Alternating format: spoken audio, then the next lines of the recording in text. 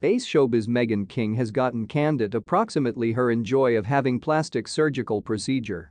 The former big name of the Real Housewives of Orange County took to social media to expose off the effects of her nostril process and display that she additionally were given breast implants. On Friday, September 30th, the 38 to 12 months antique shared a video of her nostril that became partly blanketed with a bandage seven days post-surgical procedure.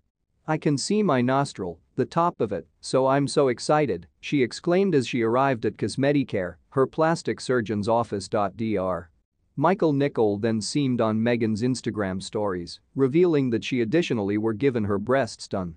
We did breasts, the health practitioner declared, earlier than jokingly adding, we did not do something to her toes, however we did do her nostril. The health practitioner then informed Meghan to cast off her stitches later that day and now no longer contact her nostril. Happy with the service, the fact big name wrote over the clip, this is one of the many motives why I selected Cosmeticare and Dr. Niccole he became constantly explaining matters actually well.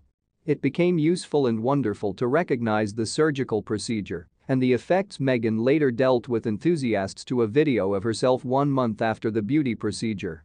Claiming that she became stunned through the swelling after putting off the bandage from her nostril, she explained, when he took off that bandage, my nostril became whiter than it became originally I had a vagal basal reaction. If you do not know what that is, appearance it up. Luckily, the swelling went down some hours later.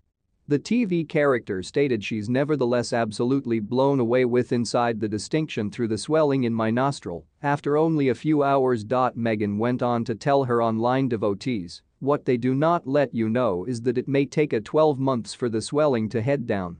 She moreover cited that her nostril will get even smaller and narrower over the subsequent 11 months.